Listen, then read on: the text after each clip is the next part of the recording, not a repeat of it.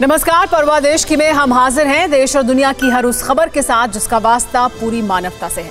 और मौजूदा वक्त में मानवता का सबसे बड़ा दुश्मन चीन है, जिसकी साजिशों का सिरा खत्म होने का नाम नहीं ले रहा। तिब्बत में बारूदी तमाशा दिखाने वाले चीनियों ने अब हद की दीवार तोड़ दी है। चीन ने एलएसी के करीब फाइटर जेट उड़ाए। सूत्रों के मुताबिक, लाइन ऑफ़ कंट्रोल के बेहद करीब चीन के 20 से ज़्यादा लड़ाकू विमानों ने उड़ान भरी। सवाल यह है कि चीन चाहता क्या है? क्या चीन युद्ध की तैयारी कर रहा है?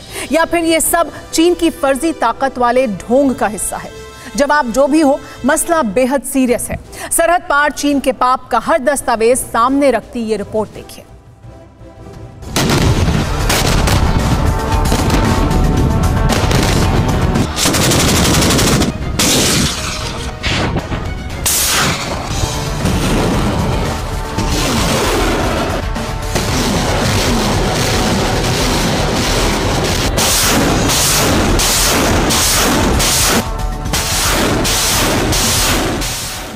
बारिशों ने तिब्बत के पठारों में बारूदी धुआँ उड़ाया।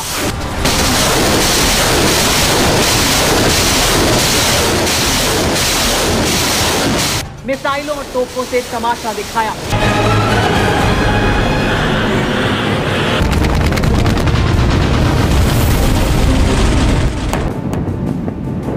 फौजी दौड़ाए, नए ठिकाने बनाए, हथियार जमाए।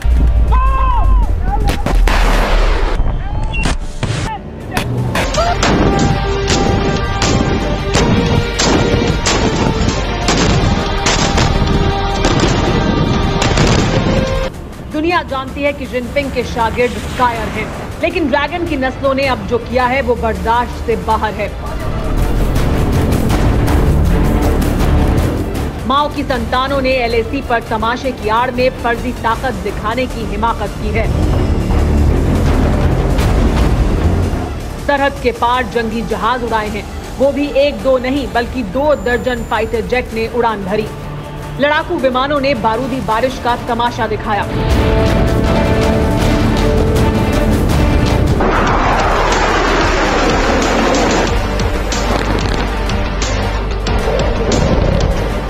सूत्रों ने बताया कि चीन के एयरफोर्स ने लद्दाख के सामने वाले अपने इलाके में बड़ी एरियल एक्सरसाइज की है।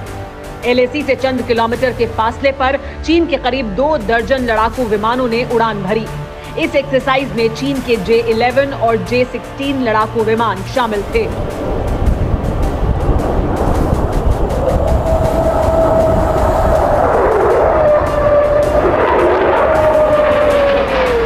गर्मियाँ शुरू होने और लद्दाख की चोटियों से बर्फ़ पिघलने के बाद से ही चीनी चांडाल बिलों से निकल आए और तभी से हर दूसरे दिन तिब्बत के पठारों में बारूदी तमाशा दिखा रहे हैं।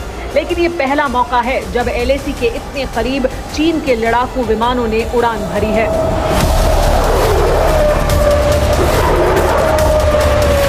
चीन ने इस एक्सरसाइज को होटन, गूसा और काशकर समेत कुछ एयरफील्ड से अंजाम दिया। तिब्बत में इन सभी एयरपोर्ट को चीन ने हाल ही में अपग्रेड किया है, ताकि इनमें बड़े बॉम्बर विमानों को भी उतारा जा सके।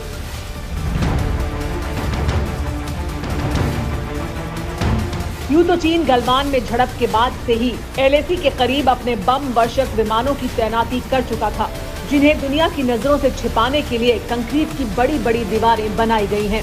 लेकिन शंघाई के सियारों का हौसला इस कदर बढ़ गया है कि अब वो सरहद के करीब जंगी जहाज़ उड़ाने लगे हैं।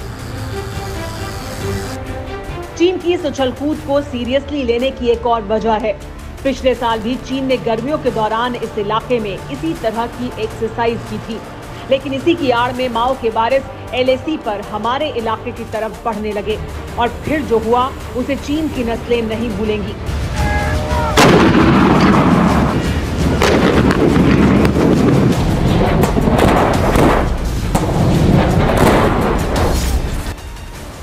लेकिन सवाल बरकरार है कि चीन के एलएसी के करीब फाइटर जेट उड़ाने का मकसद क्या है? क्या चीन लद्दाख में फिर कोई गुस्ताखी कर सकता है? क्या सरहद पर साल भर पहले वाले हालात हो सकते हैं?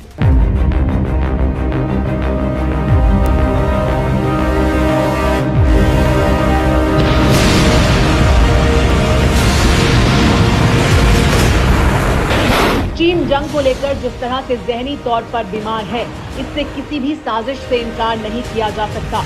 कोरोना वायरस फैलाने के बाद दुनिया जिस तरह से माओ के मुल्क को लानत मलानत भेज रही है उससे ड्रैगन की नस्लें चोट खाए सांप की तरह फिर से बिलबिला सकती हैं। चीन की बौखलाहट की चंद और वजहें भी हैं।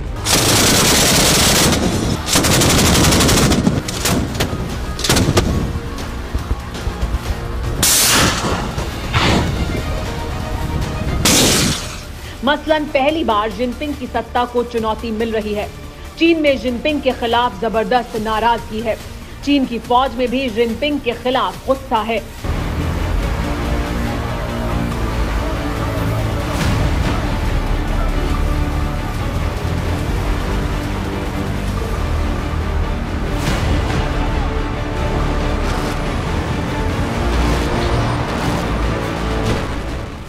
जिनपिंग चीन के राष्ट्रपति होने के साथ ही पीएलए यानी चीन की फौज के कमांडर इन चीफ भी हैं। इसलिए माना जा रहा है कि अपनी इमेज चमकाने के लिए बीजिंग का तानाशाह फिर कोई तिगड़म बढ़ा सकता है, क्योंकि चीन का इरादा कुछ ऐसा ही नज़र आ रहा है।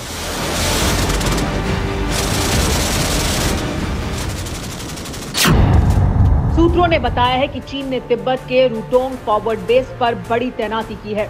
रूटोंग बेस पेंगोंग झील से 70 से 100 किलोमीटर के फासले पर है। रूटोंग में चीन की सिक्स मर्चेंडाइज इन्फेंट्री डिवीज़न और स्पेशल ब्रिगेड तैनात है। इसके अलावा सेकेंड ब्रिगेड आर्टिलरी को आधुनिक तोपों के साथ तैनात किया गया है।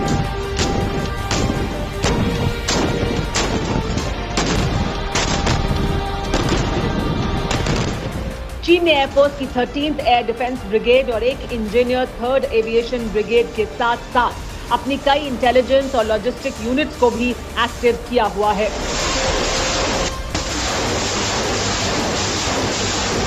आठ महीने बिताने और 11 राउंड की बातचीत के बाद चीनी अपने पाप की गठरी समेटकर पेंगोंग के किनारे से वापस लौटे थे।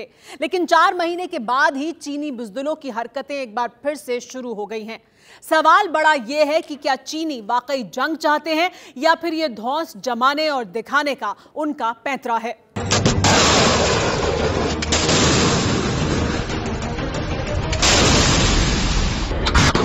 एलएसी पर चीन की फौज के वेस्टर्न थिएटर कमांड के जवान तैनात होते हैं। तिब्बत से लेकर अरुणाचल तक एलएसी का पूरा इलाका चीन की इसी कमांड के तहत आता है। हर साल गर्मियों के दौरान चीन तिब्बत में मिलिट्री ड्रिल करता रहता है। लेकिन पिछले साल इसी ट्रेनिंग की आड़ में चीनियों ने हमारी सरहद में घुसपैठ की कोशिश की थी।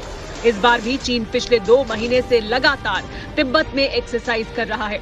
इसीलिए हमारे जवान मुस्तैद हैं। चीनियों से निपटने की कैसी तैयारी है ये भी जानिए।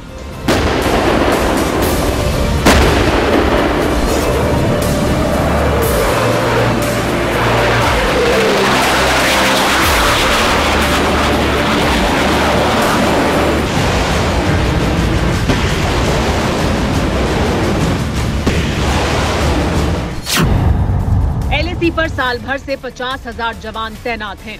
रणनीतिक लिहाज से अहम पेंगोंग और चुशूल की चोटियों पर हमारे जवानों का कब्जा है।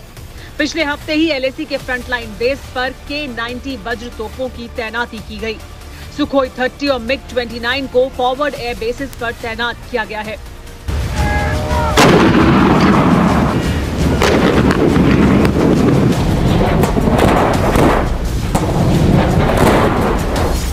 इन सब के अलावा राफेल भी ड्रैगन का फन कुचलने के लिए तैयार है।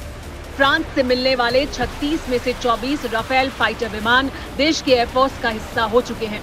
चीनियों को भी पता है कि उनकी जरा सी हिमाकत का करारा जवाब मिलेगा।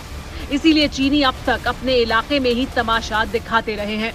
लेकिन जिस तरह एलएसी के करीब चीन ने दो दर्जन फाइटर जेट उड़ाए हैं, उससे माओ के वारिसों का इरादा, नई साजिश का इशारा तो देता ही है।